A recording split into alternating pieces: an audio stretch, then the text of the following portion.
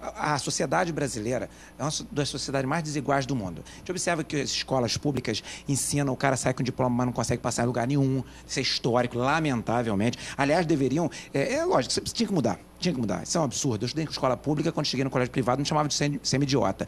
Corajoso foi meu irmão que pagou o colégio privado pra, é, caro para mim. Me chamaram de mesmo o pessoal me chamando de semi-idiota, eu tirei 0% de bolsa, enfim.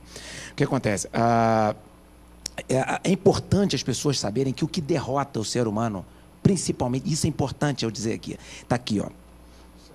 A baixa autoestima. Por isso que Deus falou para Josué muitas vezes: esforça-te. Nessa passagem citada pelo irmão Jonathan, é, tem bom ânimo.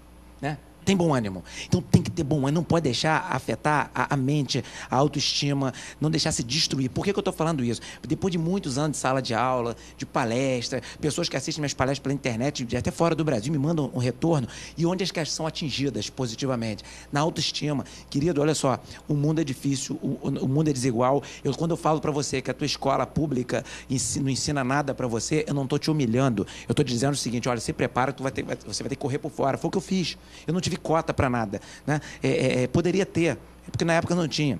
É, é, lute, se esforce. O país, olha só, o irmão que é negro, 90% dos moradores de comunidade são negros, pobre, e 90% dos presídios são negros mim, também. Isso é igualdade, pô?